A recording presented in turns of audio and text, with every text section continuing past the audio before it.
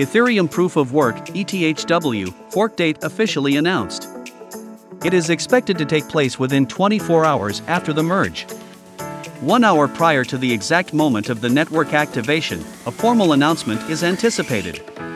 The ETHW chain ID will then change to 10001 at which point the final code, config files, binaries, and other crucial files including node data, RPC information, and Explorer information will be made public.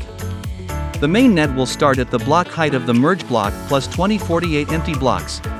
The Ethereum Proof of Work team faces scrutiny over delays in a proposed chain ID change and a last minute release of code. Days ago, Coinbase distinguished software engineer Roberto Bayardo submitted a GitHub pull request on behalf of Coinbase to clarify Ethereum proof of work forked code availability and activation, where it was noted that a new chain ID had yet to be submitted, and that using the same chain ID post merge would pose a significant risk to replay or double spend attacks.